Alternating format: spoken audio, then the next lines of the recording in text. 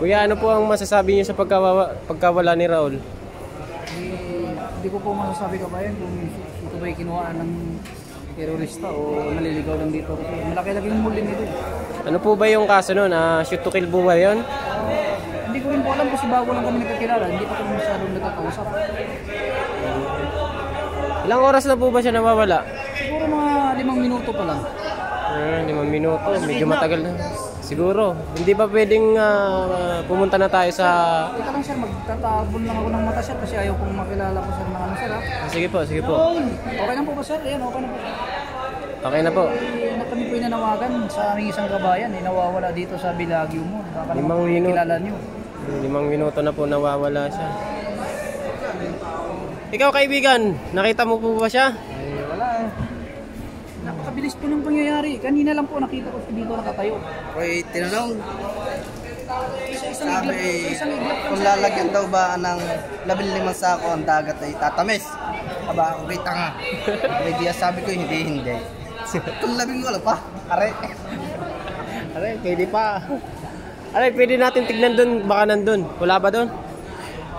Baka umakyat, umi... Ito, yung ating susuyo din eh. Sige po. Ah, ano po ang unang-unang hakbang nyo para mahanap siya? Eh, wala po tayong ibang magagawa kung hindi ang magtanong sa ating mga kabayan. At eh, ito na po yung ginagawa natin, eh, nilalive po natin para mahanap po talaga natin. Mabilis yung paghanap. Sige po. ah, sa mga katanungan pa pong marami, eh, siguro maya-maya po at mag-iisip pa po ako ha. Ah, sige. Ah, alis muna po muna tayo ha. Ah, ipopost muna natin. Tapos babalik po tayo. Ah, huwag kayong magkaalala. At babalik po tayo sa paghahanap kay Raul. Ah, sige, sige po sir. Sige po sir. Ah, ito na po kami ngayon. Dito po kami sa escalator. Pababa po kami. Nahanap po namin si Raul. Eh, mga siguro 10 minutes na po siya nawawala. Kaya... Eh, ayun po, sa baba. Nandun pala sa gintuan si Raul. Ayun po siya.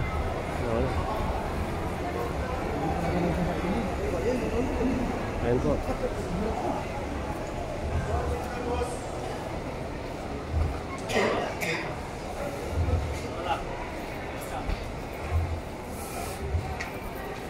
Eh, success po yung paghahanap natin kay Raul. Ito po siya ngayon. Success po. Salamat po sa mga manonood or uh, mag-subscribe. Uh, Paki-subscribe na lang po itong ah, video na to.